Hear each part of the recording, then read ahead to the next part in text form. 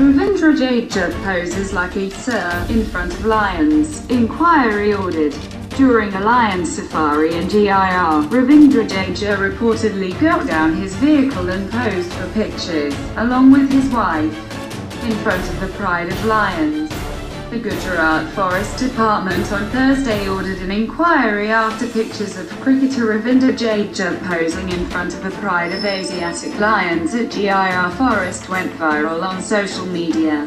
Jadeja, who is a native of Jamnagar district in Saurashtra region of Gujarat, was at Sasan GIR in Junagadh district on Tuesday and Wednesday. He went on a lion safari in the tourism zone of GIR National Park in Sanctuary, GNPS, during his visit. During the safari, he reportedly got down his vehicle and posed for pictures, along with his wife, in front of the Pride of Lions. He also clicked selfies with fans and some forest guards. As these pictures started circulating on social media on Thursday, the Forest Department ordered an inquiry. GNPS is a protected forest and tourists are not allowed to get down from vehicles while inside the jungle.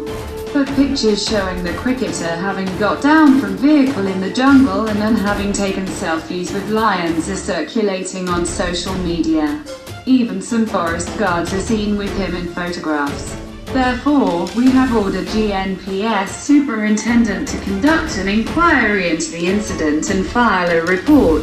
Anirudh Pratap Singh, Chief Conservator of Forests, CCF, of Junagadh Wildlife Circle told incidentally, the GNPS closed down for tourists on Wednesday for its annual monsoon break. The sanctuary will reopen in on October 15 after the four-month break. The incident took place when GNPS Superintendent Ramratan Nalla was away from office attending Shala Praveshotsav, the annual school enrollment drive conducted by the state government. We have come to know that Jadeja got down from vehicle and took selfies with lions. Two range forest officers also happened to be in that part of the jungle at the time. We are inquiring into the incident and it is difficult at this juncture to tell what offence is made out against him.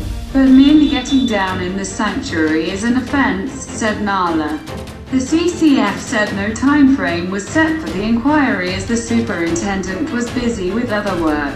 Despite repeated attempts, Jadeja could not be reached for a comment. This is the second incident in three months where the cricketer made news for off-field incidents. His relative was booked by police for allegedly firing in the air in celebration at marriage procession of the cricketer at a hotel in Rajkot.